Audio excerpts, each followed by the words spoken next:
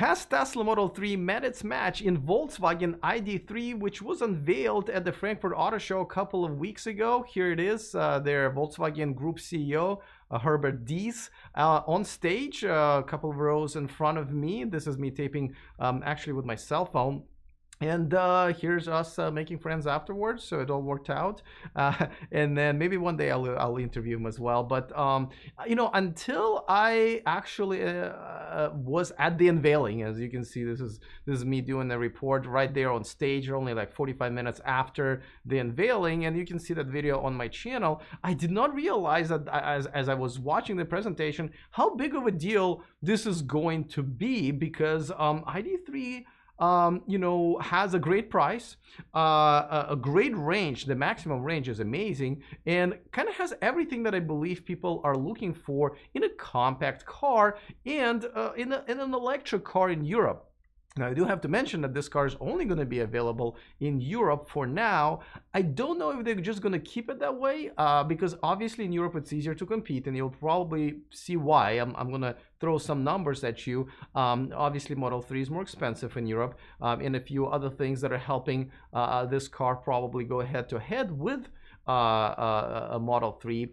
But also, I believe if it does well in Europe, it will probably come to the US um, and Canada and, and probably other, other countries around the world. So I wouldn't be surprised. But for now, uh, it's going in production. Uh, next year is going to be available. Uh, and they have tons of reservations. They have tens of thousands of reservations uh, for this car all over the place. So it's kind of a success already. But let's talk about some specs. And, uh, you know, you be the judge uh, Uh, if, if you think that this car can really, really compete with the uh, with the Model 3. So first, obviously, let's start with with with range, and let me just make sure you guys understand that um, we're gonna do kilometers first of all, because we're talking about Europe, um, and we're gonna talk about uh, w, uh, WLTP, uh, which is European standard. It's about 10% more gen generous than um, EPA, but because we're comparing, you know, I want to compare compare apples to apples here. So as you can see. Uh, Model Model 3 has a bit of an advantage here, 600 kilometers,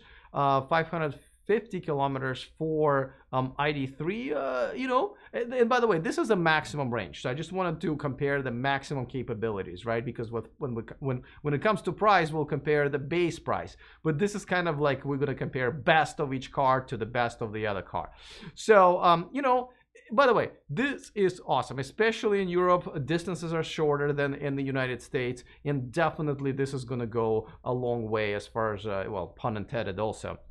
Uh, now, let's talk about price. And I think this is where there's a huge advantage. Here, uh, before that, uh, I want to make sure you guys are aware that this video and this channel is sponsored by Byton. Check out the all-electric M-Byte starting at about $45,000 in the US, about 45,000 euros in Europe. Um, in about a year and a half, you can uh, you can reserve this car now. Uh, it is zero dollars and euros to reserve one. So go to the description of this video and reserve your Byton today. I am a reservation holder. All right, so let's talk about price. Uh, and the price is where um, uh, the, the, there's a huge advantage for the Volkswagen. It starts with, uh, they actually said below 30,000 uh, uh, euros. And uh, so we don't know yet. I mean, there's literally some rumors that it's like 22, but I'm just going to go with 30, okay? Um, in Europe, uh, Model 3 is more expensive than in the US, uh, 38,000. And again, you know, I, I picked German numbers for this because the, the price for Tesla is different in different countries and then you you have to convert it. So I picked this is the German price for the for the Model 3 so 38,000 versus 30 or under 1,000 for uh, for ID3 that's a base price. Um, you know definitely if people are looking for a budget car and especially you know after the incentives it could be much much less you know, this could just be it. And even their starting range is not that bad. So uh, now let's move on to some, some other stats here. Uh, 0 to 100 um, kilometers uh, that's about 0 to 62 miles an hour. Now, uh, this one I can't really compare because, uh, you know, there's no official numbers coming from Volkswagen. There, there are some rumors that it's going to be 6 or 7 seconds, but something really not very fast. Uh, where a, a, Model 3, the performance can go 3.4 seconds. As far as performance, I think Model 3 is going to win in every single category here, uh, just simply because there's a, you know, it, it has the performance uh, package, and, and, and it is kind of was made, um, the, the performance package was made to be sort of used on, on track very successfully. So so that's where Tesla is going to beat it every time. So I don't even care what ID3's uh, number is going to be. It's not going to be anywhere near uh, a Model 3. Let's talk about charging. The charging is a funny thing here, right? Now let's compare the top charging rate, which obviously Model 3 is one of the best around, 250 kilowatts versus 125 kilowatts for ID3. But uh, and you know, obviously, Model Model Three is also going to win here. Uh, the, the the the the, the you know, again, comparing apples to oranges here, it's a little bit tough because top rate does not mean that that's what it's charging at. As a matter of fact, what's most important is, you know, for consumers essentially, not for like chemistry geeks, right, or, or tech geeks. For consumers, for average consumers, what they care about is how many miles they're going to get back per each minute of charging. So we don't know that because we're going to have to have people like Bjorn and others to do the actual real test here and then find out. But still, I expect uh, Model 3 being much, much faster. Now, uh, as, as you also probably know, most people don't take long road trips very often. So this only plays a, a, role when, when someone takes one of these cars on a road trip. But as far as charging it every day, it doesn't really matter because as a matter of fact, I think they're at both at 11 kilowatts anyway, because uh, what, no matter what happens, by the time you wake up, your car is fully charged. So, so that's that. Almost all electric cars are, are, are equal there. Uh, now, of course, you can't talk about this without charging networks and, of course, uh, uh, you know, for long distance travel.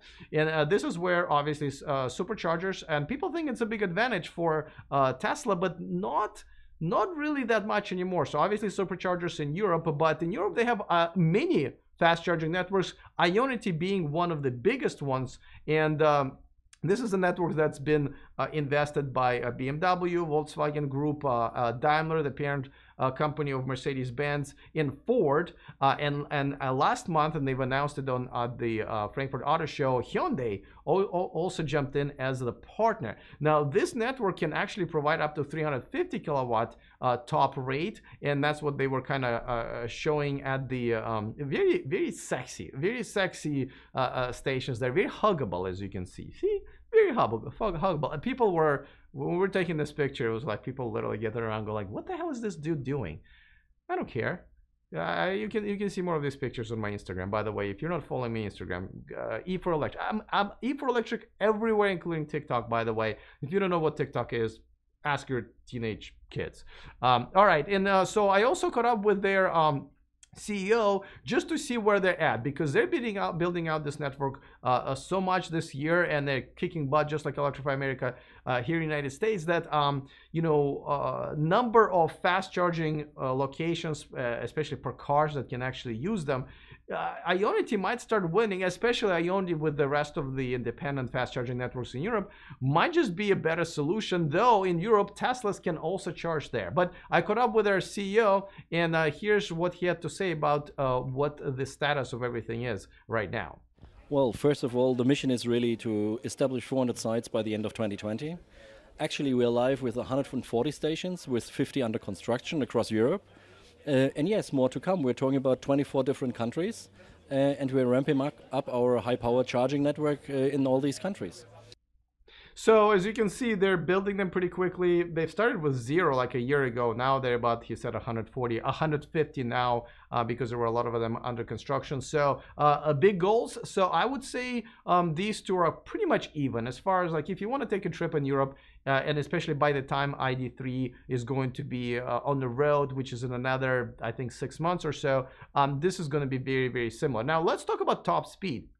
I usually don't care about top speed because people don't go 200 miles an hour all over the place, though in Germany they might.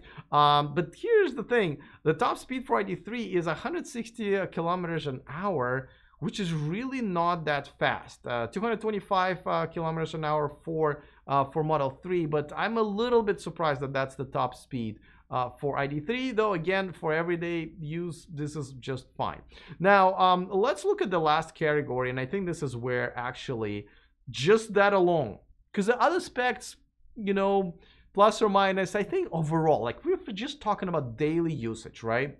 I think they're overall equal. But one thing that I think, well, okay, the price, uh, the price, but but one thing that I think that some people will have no choice but to go with ID3 uh, is because of uh, the um, uh, continuous storage space. Uh, it's a hatchback, and uh, the you know uh, Model 3 has a trunk. And if you've seen the Model 3 in person, it's not a big trunk. So if you're let's say an ice hockey goalie like myself, it's not enough. And yes, you can jam stuff in the in the back seat, but you know if you have bigger things like surfboards and other stuff, you know hatchback is the way to go. This is something that in Europe, I got so excited, I I'm choking. in Europe, it's it's pretty it's pretty uh, uh, uh, sort of a people don't think about it as much, right? You got to have a hatchback. Boom, not a hatchback? No, not even gonna look that way. And by the way, we can also talk about looks. And uh, I don't know, you be the judge. I like the, the, way Model 3 looks a lot. So to me, I would definitely pick that. Though the uh, the the ID3 doesn't look that bad either. But uh, you know, I, I have heard a lot of people not really liking the Model 3 look um, and actually defaulting back to more kind of a standard hatchback uh, compact car, which this one is, and and it, it is a good looking car as well. So I'm, I'm biased here. I love the way Model 3 looks. I'm not a big fan of uh, hatchbacks, though I drive a Volt. So yeah, I know. Uh, but it is definitely going to be uh, an interesting competition. But I think this is where Tesla had found a match, and and it's good. Like I I, I really I, I think I, I think there will be people who will love their ID3 and there will continue being people who will love Model 3. But overall, I don't think they're going to be fighting too much uh, between each other. I think they will be consistently getting more and more and more uh, of the market share and obviously less gas cars and more electric cars on the road. It's fine. Let me know in the comment section which one you would prefer and why. And of course, don't forget to uh, get on our VIP list, which is a bonus story that we send out at the end of each week to those of you guys who just want more, something that we just can't fit into this um, uh, to this broadcast. And of course, uh, uh, don't forget to participate in our uh, Fit a YouTuber uh, program. Just for $5 a month, uh, you can provide shelter, food, and video equipment to this guy right here. And of course, watch him live on, on Patreon as well. Go to patreon.com slash E4Electric. That link is also in the description of this video. All right, looking forward to your comments. Other than that, I will see you guys next time. And remember, to stay charged.